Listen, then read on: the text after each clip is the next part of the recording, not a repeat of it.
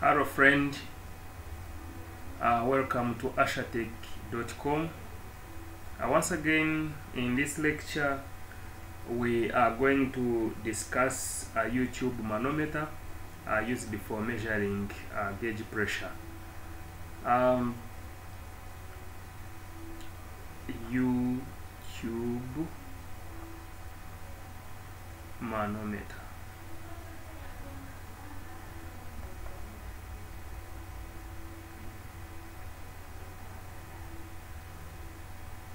So in our past lectures we talked about uh, piezometers.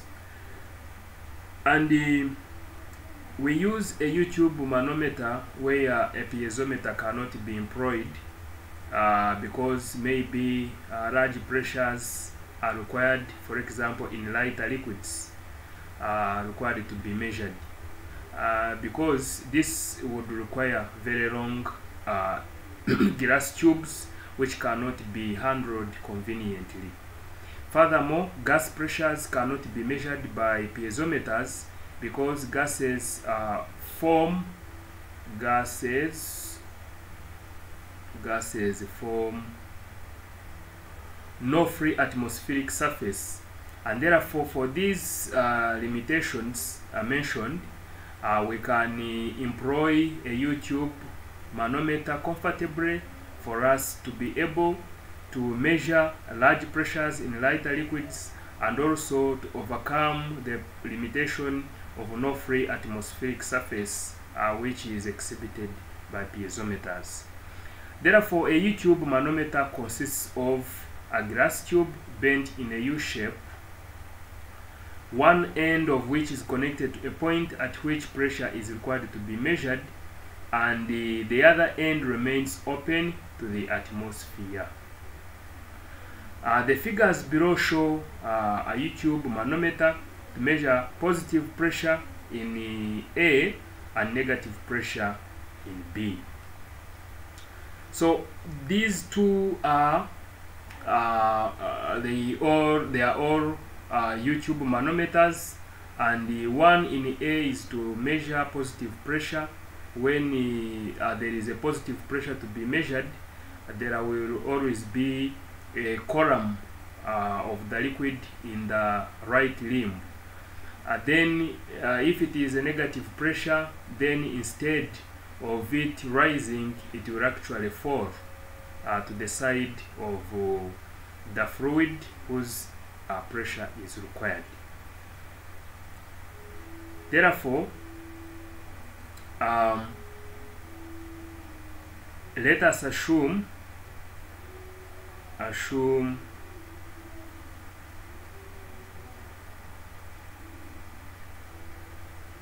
xx as a datum let us assume xx as a datum and uh,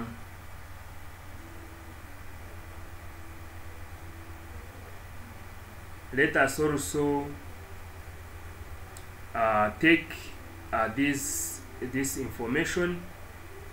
Uh, first of all we must know that uh, pressures at the two uh, points which are at the same level in a homogeneous liquid uh, are the same. So for, uh, for example, pressure at x, p, x, x in the left is equal to p, x, x in the right. So having uh, taken uh, our assumptions and given the information that height of the light liquid in the left limb above the datum is H1 um, H2 is height of the heavy liquid in the right limb above the datum and H is the pressure in the pipe expressed in terms of head of water. S1 is the specific gravity of the light liquid. S2 is the specific gravity of the heavy liquid. Therefore, for positive pressure uh, for example in manometer A we shall first look for pressure pressure at xx in the left limb. Pressure at xx in the left limb is equal to is equal to is equal to PA is equal to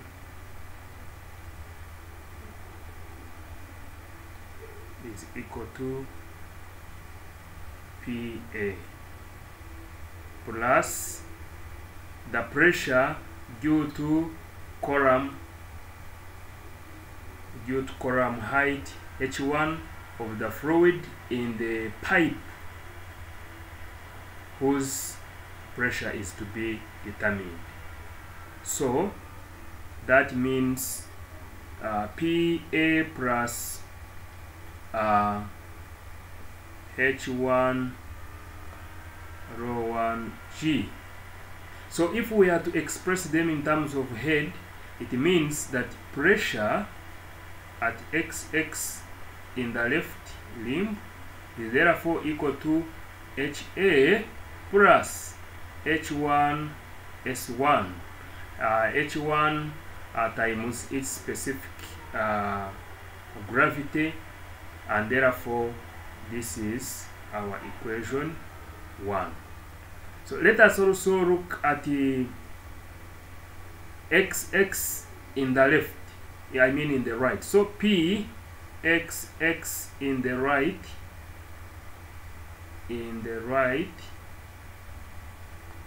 is equal to what is it? Equal to uh, atmospheric pressure being taken as a datum is equal to zero. So it is going to be it is going to be p atmospheric plus um, the pressure due to column H2 of the manometric fluid. So it will be H2 rho 2 times G. So expressed as heads expressed as head uh, with the atmospheric pressure going to zero it means P xx on the right is equal to h2 times specific gravity of the manometric fluid. And this is equation 2 so having taken our assumption that uh, pressure at two points which are at the same level in a homogeneous uh, uh, fluid or liquid are being equal then from from 1 equation 1 and equation 2 HA plus H1 S1 is equal to H2 S2 so since we need a pressure of the of the pipe or pressure at point A then let us make HA the subject of the formula so that HA is equal to H2 S2 minus H1 S1 for that matter therefore uh, pressure required uh, which is H1 uh, given all this information we can be able to determine the pressure. So uh, knowing uh, given uh, given density density and specific gravity specific gravity of liquid in the pipe in the pipe we can get pressure can get pressure in pascals in bars or just uh, in newton per square meter. Or if required if required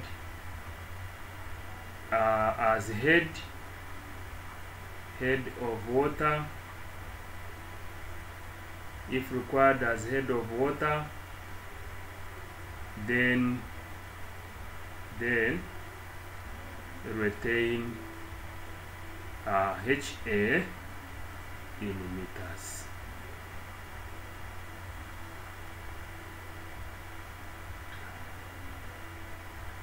so next is part B. Part B for negative for negative for negative pressure. So pressure at xx in the left is equal to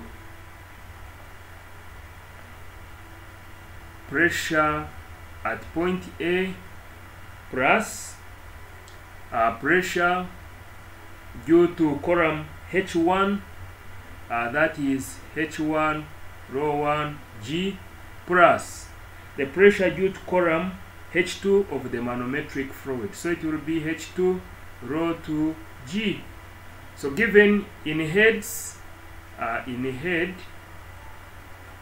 of water, then pressure at XX in the left limb will therefore equal to HA plus H1 S1 plus H2 S2